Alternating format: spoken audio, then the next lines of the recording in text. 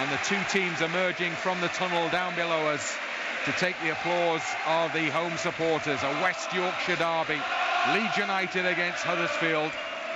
Crackling good atmosphere. Far side, Harrison gets his first involvement. Now Stuart Dallas on the far side touchline in front of the east stand. Ball played forward to Klich. Lovely back heel to Hernandez.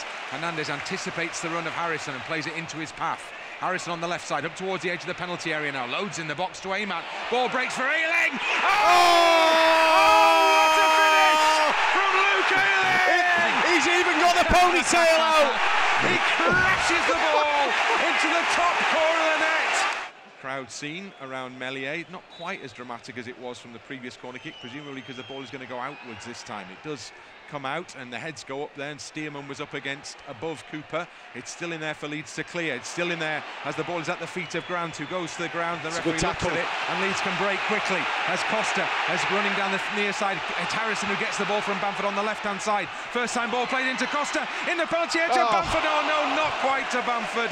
Just ahead of Patrick Bamford then it goes back to Ben White on the edge of the centre circle. And Ben White then switches play to Costa, who comes back to retrieve the ball from White. And now he has Ayling, but he goes inside to Klich, and it's a layoff for Ayling. It's a lovely ball into Harrison! Oh, just wide from Jack Harrison.